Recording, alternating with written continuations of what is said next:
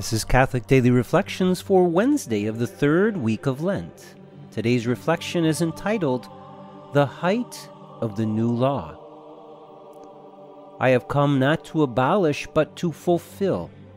Amen, I say to you, until heaven and earth pass away, not the smallest letter or the smallest part of a letter will pass from the law until all things have taken place.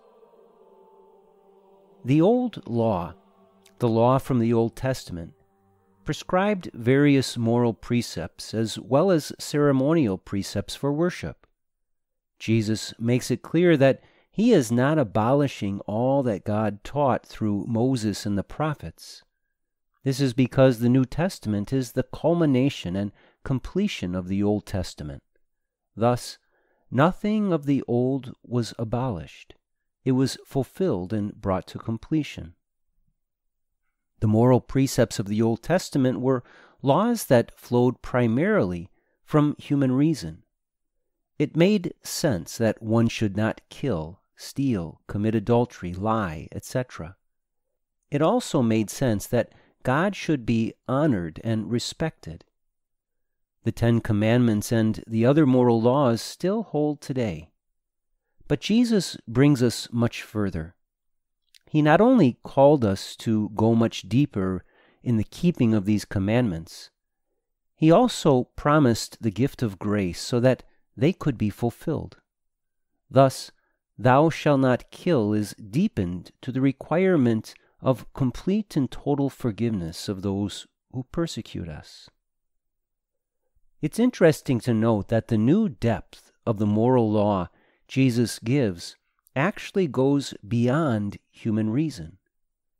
Thou shalt not kill makes sense to almost everyone, but love your enemies and pray for those who persecute you is a new moral law that makes sense only by the help of grace.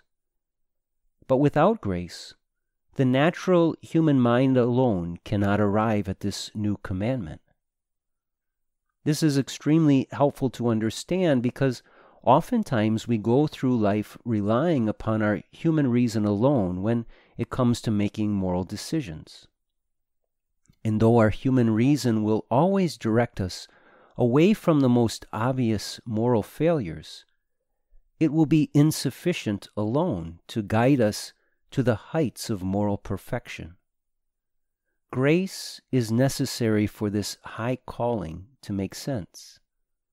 Only by grace can we understand and fulfill the call to take up our crosses and follow Christ. Reflect today upon your own calling to perfection. If it doesn't make sense to you how God can expect perfection of you, then pause and reflect upon the fact that you are right. It doesn't make sense to human reason alone. Pray that your human reason will be flooded with the light of grace so that you will be able to not only understand your high calling to perfection, but that you will also be given the grace you need to achieve it. Let us pray. My most high Jesus, you have called us to a new height of holiness. You have called us to perfection. Enlighten my mind, dear Lord, so that I may understand this high calling and pour forth your grace, so that I may embrace my moral duty to the fullest extent. Jesus, I trust in you.